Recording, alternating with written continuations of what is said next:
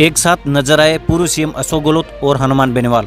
राजस्थान के पूर्व मुख्यमंत्री अशोक गहलोत ने अपने बेटे वैभव गहलोत के लिए जमकर चुनाव प्रचार किया। इस कड़ी में उन्होंने मंगलवार को बीनवाल के बागोड़ा में चुनावी सभा की। इस सभा में कुछ ऐसा देखने को मिला जिसकी किसी को उम्मीद भी नहीं होगी। इस जनसभा में अशोक गहलोत के साथ आरएलपी प्रमुख हनुमान बेनीवाल भी उनके साथ नज़र आए। हनुमान बेनीवाल एक समय अशोक गहलोत सरकार के ध्रुव विरोधी रहे हैं। वह गहलोत सरकार पर कई प्रकार के आरोप लगा चुके हैं। हनुमान बेनवाल भी वैभव गहलोत के समर्थन में प्रचार कर रहे हैं। इस लोकसभा चुनाव के लिए कांग्रेस ने आरएलपी से गठबंधन किया है। इसी कारण तो कांग्रेस ने नागौर सीट से हनुमान बेनीवाल का समर्थन किया है।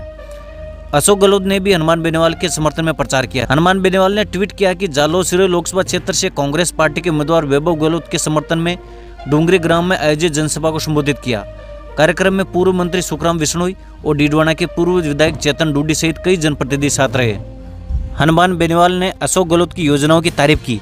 उन्होंने कहा कि सरकार ने चिरंजीवी जैसी बेहतरीन योजना राज्य में दी, जिससे गरीब और आम लोगों को फ़ायदा मिला। भारतीय जनता पार्टी की सरकार को जन विरोधी वाली सरकार बताया।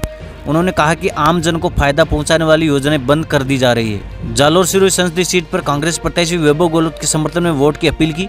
हनुमान बेनीवाल ने कहा कि अगर वैभव गहलोत को लोकसभा भेजते हो तो विकास के नए आयाम मिलेंगे। उन्होंने कहा कि किसानों के हितों के लिए मैंने अपना हित छोड़कर सड़कों पर हमेशा उतरा। वहीं पूर्व मुख्यमंत्री अशोक गहलोत ने कहा कि यह क्षेत्र काफ़ी पिछड़ा हुआ है। पिछले 20 साल में भाजपा नेताओं ने इसे उपेक्षित छोड़ दिया है। अब हमें इसे 20 साल आगे बढ़ाना है। जालोर सिरोही की तरक्की कर इसे समृद्ध बनाना है।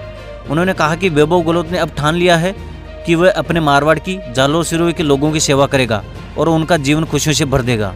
वैभव के इन प्रयासों में हम सभी को, जनता को और जनप्रतिनिधियों को उनका सहयोग करना होगा।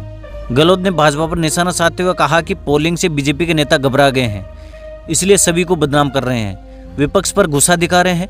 उन्होंने कहा कि चुनाव में सभी से आशीर्वाद मांगना पड़ता है। बीजेपी इसको भी खत्म करना चाहती है। आज भाजपा कांग्रेस के खातों को बंद कर रही है। दो मुख्यमंत्रियों को जेल में डाल दिया है। ईडी, सीबीआई जैसी संस्थाओं का दुरुपयोग हो रहा है।